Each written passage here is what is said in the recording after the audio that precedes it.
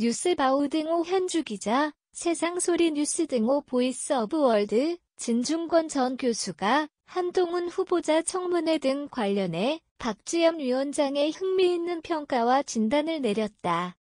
그는 11일 SNS에 박 위원장이 어차피 무늬만 비대위원장이었는데 조국의 강에 빠져 그 무늬마저 강물에 지워진 듯이란 글을 올렸다. 박 위원장은 지난 9일 한동훈의 내로남불 정말 놀랍다. 이준석 대표 내로남불 그 자체다. 부끄러운 줄 알라라며 다소 격앙된 발언을 냈다. 첫째는 제가 가장 분노하는 건 조국 전 장관 일가를 쑥대밭으로 만든 수사 책임자가 미국과 영국을 넘나드는 가짜 스펙을 만들어 딸에게 선물했다는 것이다. 둘째는 조민이 누린 아빠 찬스는 내로남불이고 한 후보자 딸이 누린 아빠 찬스는 공정한 경쟁인가. 아무 말 못하는 이 대표 모습이다. 조국과 조민을 옹호하는 발언이지만 박 위원장 말이 맞다면 조국 가족이나 한 후보자 가족 모두 부도덕하고 비윤리적이다. 50보 100보란 뜻이다. 진전 교수는 박 위원장이 조국의 강에 빠졌다는 표현을 썼지만 6.1 지방 선거라는 거대한 기류에 휩쓸려 쇄신을 주도하지 못한다는 표현이 적절하다.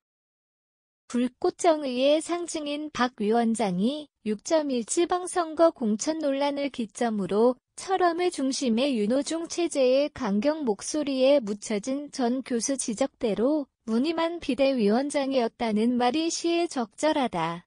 본시 비대위원장 조건인 차별금지법은 불꽃된 범방 추적이 출발이었고 디지털 성범죄 근절특별위원장으로 민주당에 합류했던 배경은 2030여 성들을 대변해 피해자 보호와 가해자 엄벌에 더 목소리를 내고 싶은 이유였다. 안희정 우거돈 박원순 등의 성추행 사건에 2020년 7월 우리 사회는 지도층의 낮은 성인지 감수성에 대해 단호해야 한다는 박완주의 원이 보좌관 성추행으로 12일 제명을 당했다. 민주당 김원희의 원실 근무 여성이 지난 1월 성폭행 피해 신고를 했다. 김혜원은 피해자 보호와 마침표, 처벌을 위해 마침표, 협조도 아끼지 않겠다고 했지만 변호사 통해서 경찰하고 마침표, 해보라 그래 라는 대화가 폭로되었다. 그의 비서관이 배신자 프레임을 씌웠고 피해 신고가 배신인지 모르겠다 등 2차 가해 당했다며 경찰과 당에 신고했다. 김혜원은 막중한 책임감을 느낀다는 글을 올렸다.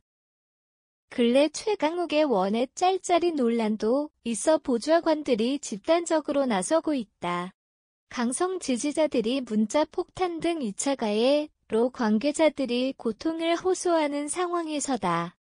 배신자 프레임 등 운동권 문화도 끼어 성추행 비리나 비위가 수위를 넘었다는 판단에 민주당 보좌진 협의회는 어쩌다 우리 당이 이 정도로 되었나 싶을 정도로 민망하고 실망한다는 목소리를 냈다. 신현영 대변인은 2차 가해가 새롭게 제기된 만큼 이 부분에 대해서도 윤리감찰단이 조사를 할 예정이다고 밝혔다. 윤호중 위원장과 박지연 위원장 모두 고개를 깊이 숙이며 대국민 사과를 냈다. 변명의 여지도 마침표.